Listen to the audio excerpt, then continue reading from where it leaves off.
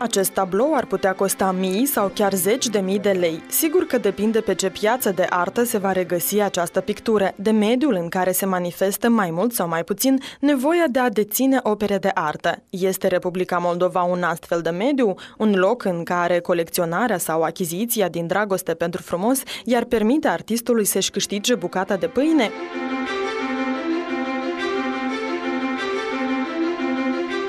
Cine sunt clienții artiștilor plastici din Republica Moldova? Unde își găsesc pictorii moldoveni consumatorul de artă, colecționarul sau, de ce nu, negustorul priceput? Încotro își va îndrepta privirea un plastician ca să se asigure de cea mai potrivită îngemănare între valoare și bun vandabil. Pictorii Iurie Matei și Ana Munteanu au răspunsurile lor în această privință. Este un tablou care urmează să fie vândut?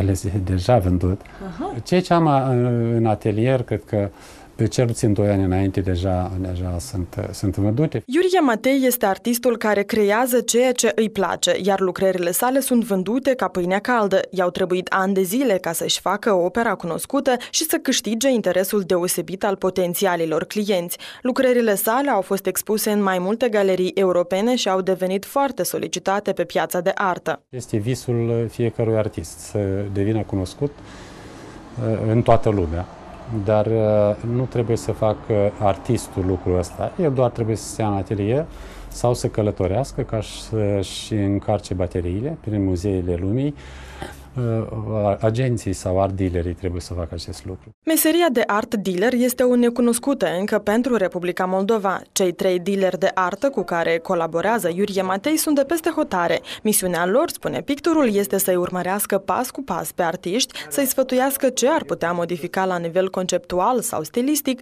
așa încât pictura să-și găsească locul pe piață. Eu sunt sentimental. Eu aici întrevăd că am pictat într-o zi mă dure capul, în altă zi avem alte dureri, alte bucurii, alte necazuri sau alt fel. Prin urmare, ardilerul este cel care evaluează lucrarea și dă valoarea materială. Sigur. El stabilește strategia și plus mă scutește pe mine de a lăcrima că dacă mă duci, dacă stăm acum și vrei să cumperi tabloul ăsta, spun un preț, dacă mai stăm 10 minute și mai vorbim, ți-l fac cadou.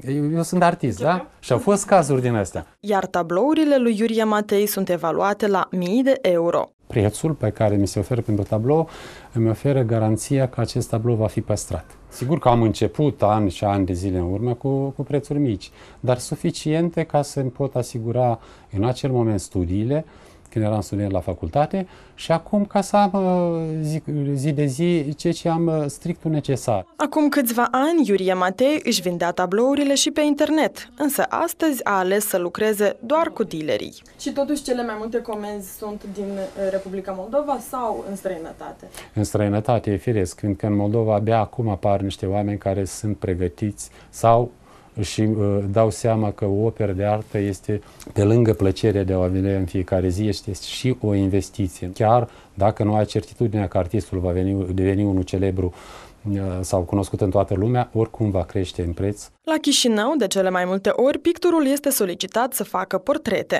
Sunt oameni care uh, în casă au tablouri. Zic că, eu, Matei, domn Matei, vin și vezi, eu și eu opera luată din scuarul Teatrului de, Național, cu crengi și cu cărbuni încleiat. Am avut și o familie noastră care au dat tot jos, astea au aruncat la gunoi și au cumpărat de la mine și le-am mai făcut o listă de artiști de la care poate poate să ia. Consumatorul de artă din Republica Moldova este încă unul neformat, spune artistul, dar există și o explicație. Știți ce este grav ce au făcut sovieticii cu noi în zona asta românească? Au, ne-au distrus coloana vertebrală filozofică dragoste față de frumos, față de aproapele nostru, parcă suntem creștini dar înjurăm pe, pe scările bisericii. Dacă pictorii moldoveni vor să devină faimoși și tablourile lor să fie vândute bine, trebuie să și învețe cum să-și promoveze opera, consideră artistul. Vă imaginați că la o expoziție de tehnologii moderne, computer și astea, venim și noi și expunem o căruță. Nu zic, dar voi ce vreți? Dar păi căruță, e viteză, merge, dacă în ham trei cai. În momentul vii cu o marfă, ca să revenim iarăși că arta este o marfă, că am vorbit de prețuri și de strategii, uh, vii cu ceva care nu este în piața dată. Nu au, de, nu au tablouri de genul ăsta, dar lumea vrea să le vadă. Iurie Matei se declară convins că dacă artistul crede sincer în ceea ce face, atunci neapărat își va găsi admiratori care îl vor aprecia și care, în acel moment, îi vor da banii cuveniți pentru munca și talentul său. Unii inventează ca să-și justifice un pic uh, nereușita lor, îmi pun în cârca și a mea care nu știu pe cine cunoaște și nu știu cine a ajutat. Pot să fiu fratele lui Bill Clinton sau nepotul lui Papa de la Roma și nepotul, dacă ești un artist prost și vine și te prezintă ca un artist, da, acela zice că te pictează. O stac, o să aibă unul simț și o să zic că nu-i mai spune cuiva de capul lui. În artă, vorba lui Brâncuș, drumuri împărătești nu există. Trebuie să muncești ca un rob, zi de zi.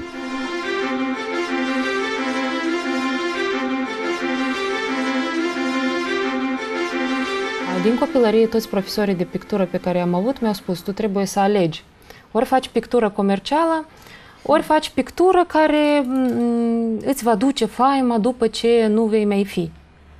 Și eu întotdeauna m-am luptat cu ideea că să le combin pe ambele. Ana Munteanu este o pictoriță cu mai puțină experiență decât Iuria Matei. Este cunoscută mai mult pentru spectacolele sale în nisip, Sand Art, dar este decisă să-și expună picturile într-o expoziție personală peste hotarele Republicii Moldova. Artiștii, pictorii, uh, sunt un fel de freelanceri care nu întotdeauna au un venit stabil.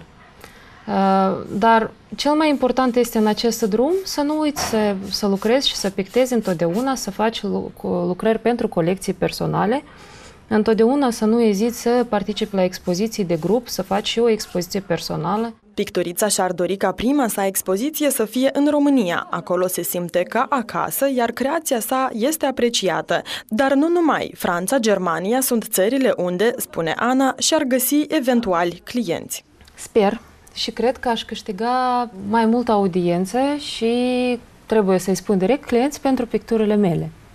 Acasă nu știu dacă îmi reușește acest lucru, pentru că lucrările care le fac eu uh, sunt de colecție, nu sunt cele mai ieftine lucrări. Ana preferă să-și caute clienții în afara Republicii Moldova pentru că pur și simplu nu poate să se supună, cum spune ea, așa ziselor reguli ale pieței naționale. Nu știu dacă m-aș putea eu, aș putea să modific mintea ca să pot să fac ceva care este perceput aici. Nu pot să fac acest lucru. Am fost născută în artă într-un fel și am o viziune care nu pot um, nu pot egala cu tot, uh, cu tot ce se întâmplă. Nu pot să fac abstracție doar pentru că sunt solicitate. Din experiența pictoriței, moldovenii nu prea își permit să cumpere un tablou semnat de ea. În schimb, pot să cumpere o reproducere, un print, pentru că și aceasta este o formă de a răspândi lucrările pe care le faci. Pictura pe care o fac eu nu este întocmai tradiționalistă. Este un stil care se numește realismul magic,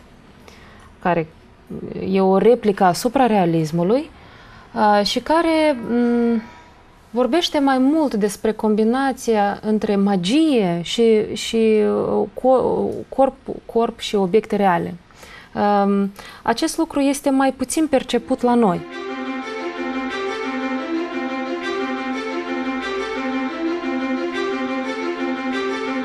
Mi-a plăcut foarte mult o frază spusă de un pictor uh, japonez care zice că adevăratul artist nu este numai acel care face pictură frumoasă, dar și acel care îi reușește să trăiască din ea. Ana știe deja cum va arăta prima ei expoziție. Îi rămâne doar să-și termine seria de tablouri în care în centrul atenției sunt fluturii.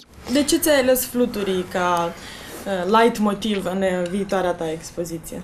Am ales fluturii pentru că am fost întotdeauna fascinată de uh, existența lor în toate mitologiile, fluturile s-a, a fost asociat cu sufletul omului. Da, am mai avut și alte aparențe un pic diferite, cum ar fi fluturile de noapte, dar tot se referă la caracterul uman. Și aici găsesc ideea că fiecare fluture poate să caracterizeze un om prin cromatica, forma și natura lui. Sigur că nicio expoziție nu poate fi fără o vioară sau fără un violoncel. Pentru că anume muzica live, muzica clasică live, uh, poate cuprinde esența creației pe care o expui. Pictorița și-ar dori ca și publicul de la Chișinău să aprecieze opera sa, de aceea va aduce expoziția și acasă, dar recunoaște că un adevărat nume și adevărați clienți va câștiga doar în străinătate, deși există și avantaje pentru țara sa. Într-un final, un artist care își face performance în altă țară duce un soi de politică externă prin prezența și prin felul lui de a fi.